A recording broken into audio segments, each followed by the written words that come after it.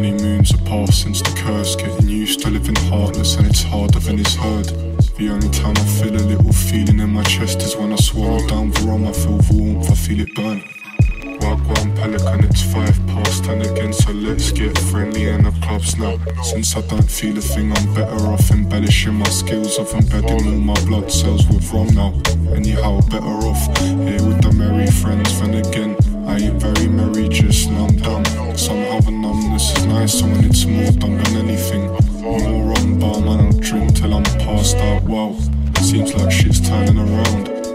finished up the bottle or there's problems with ground. Didn't really like the sound here to be honest.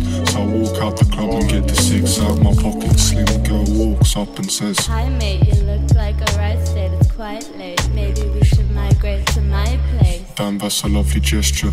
What's your name? She said. I said yes, cause I thought she had a nice face. Anyways, the rest is blatant.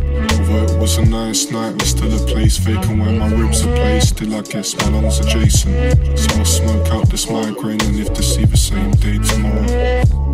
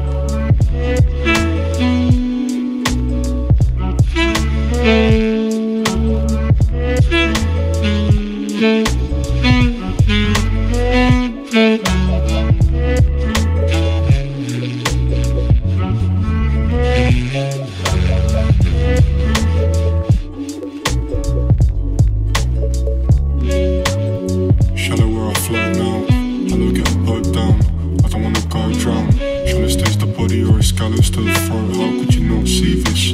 Bow down to your demons or ignore them. Service to a hollow force laborious. Shallow where I float, I won't descend.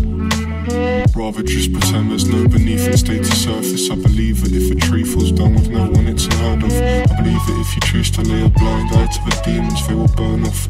Shallows where the bird stops. Shallows where the phone's got 4G and all the weekends be distracting. Shallows where resides the work which keeps your mind unactive. Don't know about yours, mate, but my mind's abysmal. Saying pace away and minds of ignorance is blissful. Sinful thoughts conjure up a wall to block the path. This what lies beneath a wall which keeps me distant from the dark.